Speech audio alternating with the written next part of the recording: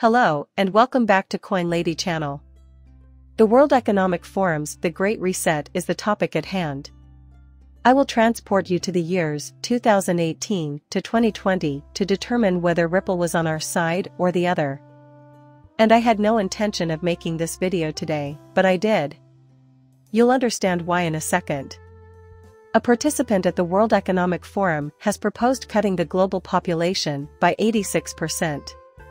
Meadows argues the population reduction plan is possible if we have a really powerful dictatorship that is wise and people have a low level of living. However, liberty and prosperity are two things that are important to us. Since we'll soon be over a billion in number, we must reduce our current population of 7. It would be nice if things could go slowly or at least not too quickly, and if it could be done in a way that was fairly equal for everyone involved. They want us to just stand by as they wipe out most of humanity. Also, this is just insane. This is what they hypocritically want.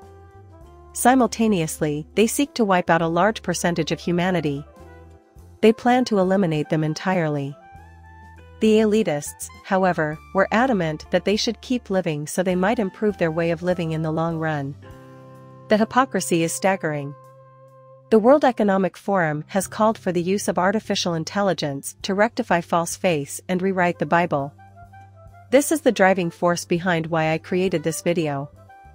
They published this piece on a Sunday and then went and said that AI is smarter than God. An official at the World Economic Forum has proposed using AI to rewrite the Bible in order to make it more relevant to people around the world. But that's so what? In the future, AI will be worshipped as if it were a god. And I know God never makes mistakes. And I think at some point he'll step in, and Klaus Schwab and Noah Harari will both have a nice place in hell. What a sick individual he is. He also thinks that humans of the future shouldn't have souls and that they should have been created in a lab rather than born to a human mother. That's why there are so many satanic rituals taking on around the globe right now. And it will persist for the foreseeable future. We're talking about 10 months ago now. More proof that Biden is a sock puppet for Soros and the WEF. This is another proof that our tax dollars are being exploited maliciously. Biden awards $172 million contract to group with ties to Soros to aid illegal border crossers in staying in the U.S. The Great Reset includes, among other things, liberalized border policies. If they have their way, in the not-too-distant future, we will all be citizens of the world.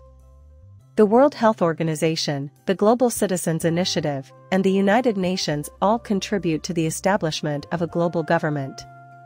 If the United Nations were to replace the flags of all 193 member states with LGBT flags, we would soon have a global citizenry. And as I've mentioned previously, you know, lots of folks are perplexed as to the source of all the awakened activity of late. This is because influential businesses like BlackRock are advocating for the Great Reset. Ford is now advertising the release of the Rainbow Raptor. As evidence, consider what happened to Bud Light. But the people are pushing back. They aren't contributing to the newly advocated for agendas. Similar to how Ford car sales are declining, consumption of Bud Light is also declining. Similar work is being done by other businesses. It's not that they want their group to be involved or even that they want any sort of recognition, though. This cult is making progress, and its actions are linked to the Great Reset. George Soros, a billionaire, makes a decision that could affect the rest of his life. Alexander, age 37, is the favorite opponent of conservatives and fanatics around the world, and he has just taken over the family business. But Soros revealed to the press that he shares similar views with his son. So the anarchy will persist even after George steps down. Crime and looting in all the big cities are orchestrated by Soros-funded extremists and his son will carry on in his footsteps moving forward. We don't need more fighting in our country, you know.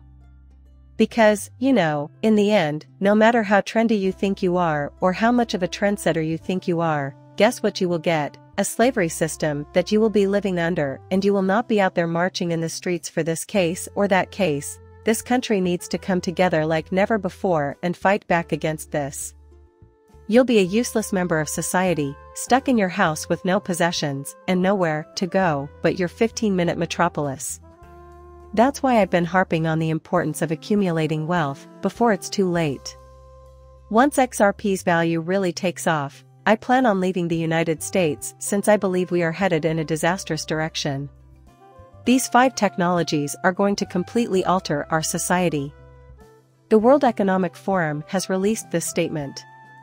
Have you ever pondered the reasons behind Ripple's heavy involvement with the WEF? That's where the bankroll really is, I've always said.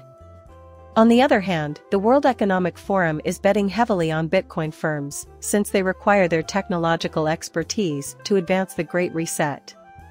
So AI is at the top of the list, and we now know that their ultimate goal is to establish a global Bible and religion. Then there's the metaverse and virtual reality. They are also very invested in this because they plan to establish a global government within the metaverse. Digital identification will soon be required for entry into the metaverse, along with gene editing tools and twisted DNA. Then there's blockchain, and in my opinion, a 15-minute city is impossible without blockchain. The carbon credits that will be used to levy taxes on the Internet of Things in the future can also be stored in a blockchain ledger. That's why the World Economic Forum is associated with some cryptocurrencies based on the ISO standard. They're similar to the favored virtual currencies, but they require investment instead. They are also a component of the fourth industrial revolution, which represents your best opportunity for financial success. That's why, no matter what, I always advise you to keep holding and get rich while you can. There's also nanotechnology. And that's not necessarily a bad thing either. Someone who is impaired can recover their ability to function with this. It might give them a second chance at life, but I fear the World Economic Forum would only put it to bad use. Finally, there's the question of who runs Ripple, the good folks or the bad guys? This is just one person's theory from 2020 based on data from that year. But you do recall the association of Ripple with Snoop Dogg. Both he and Bill Clinton were early proponents of XRP.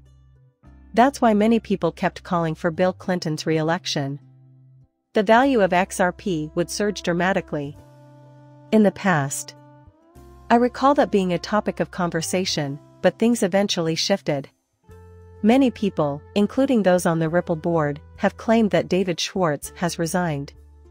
According to the tweet, Joel Katz has resigned from the Ripple board, making room for Ken Kurson to join. In either case, I'm in with Ripple. Moreover, Ken has joined us. It was a bold move, and it demonstrates David Schwartz's dedication to Ripple's success at the time. I don't even know who Ken Kurson is. What a strange coincidence that Mr. Trump and Mr. Kushner count Ken Kurson as a personal friend. Yes. Ken actually worked for Kushner and wrote speeches for Trump. In other words, he is the key piece of evidence. He's our man in the Oval Office. The consensus at the time was that XRP will soon experience meteoric growth. Trump is a big fan of XRP. Perhaps a more pertinent inquiry would be, who is Jared Kushner? If you look closely, you can see him at the Peace for Prosperity workshop with Trump. The next thing you know, he's seated next to Christine Lagarde. He has ties to the Trump administration, but he has never resigned from Ripple or severed relations to the company but that was far back in 2017 and continued into the foreseeable future, about 2020. Then, almost out of nowhere, the lawsuit against Ripple and XRP arrived. Gary Gensler, the chairman of the SEC in 2022, destroyed records documenting meetings between Hillary Clinton, George Soros, and Nancy Pelosi. If Clinton had a past association with Ripple, you would assume that linkage persists today, right? So far, it's unclear whether either side is completely sold on Ripple and XRP. The Securities and Exchange Commission also provided a reply to the WEF sadly, they have bought out the US government. Nobody seems to have noticed that the World Economic Forum has already assumed the role of global governance.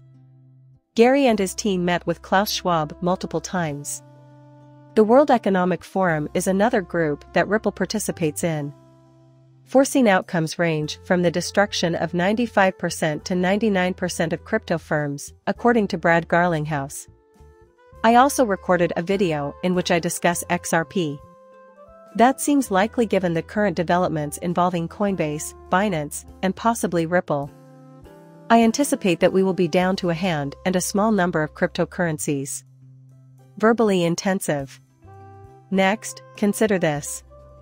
According to the WEF's LinkedIn page, that means roughly 8 million new bank accounts. They are discussing Pakistan. Since Ripple's technology helps the financially excluded, it has won praise from the World Economic Forum. The equivalent of Stellar and XLM. Because of this, the World Economic Forum has embraced it. But Ripple seems to be in it to win it financially.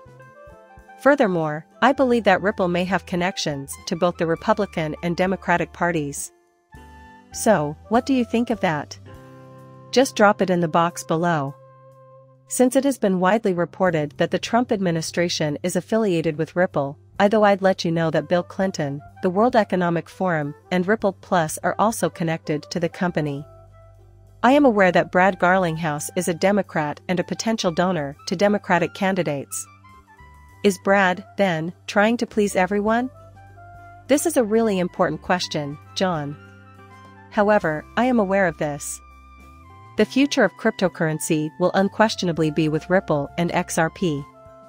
Whatever the future holds, whether or not the Great Reset occurs, that technology will be in high demand, guaranteeing further XRP growth.